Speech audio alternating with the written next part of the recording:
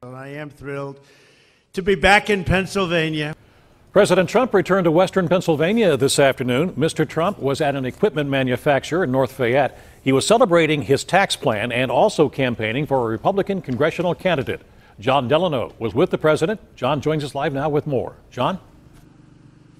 Well, Stacy, it was a quick visit, less than two hours from landing to takeoff, but it did give the president time to tout his tax bill, saying it really helps middle class families in Pennsylvania.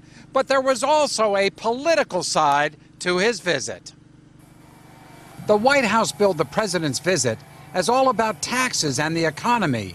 And at H&K Equipment in North Fayette, he said he delivered. When we began our push for tax cuts, I promised that our bill would result in more jobs, higher wages, and tremendous relief for middle class families. And that is exactly what we have delivered. There's only one thing. Even I never knew how big it would be. It's much bigger, and you see it. Your paychecks will be much bigger because under our tax cuts, you will be keeping more of your hard earned money. We kept our promise. In Pennsylvania alone, families will see a tax cut of about $11 billion just this year alone. But the visit to Pittsburgh was also to help Republican Rick Saccone win a special congressional election in March.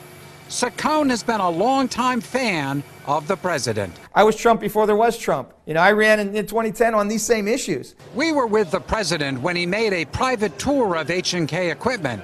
So when the president approached the media, I asked, Mr. President, Rick Saccone. Rick Saccone says he was Trump before Trump.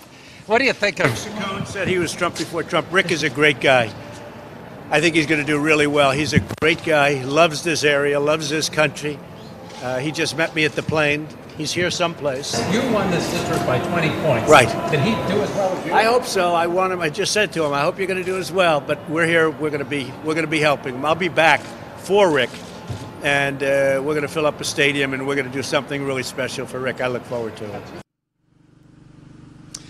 Now, no word yet from the White House or from the Saccone campaign on when exactly the president is coming back or what stadium it is he intends to fill. But there's no doubt that President Trump can be a big help to this Republican candidate for Congress. Live in North Fayette, I'm Jon Delano, KDKA TV News.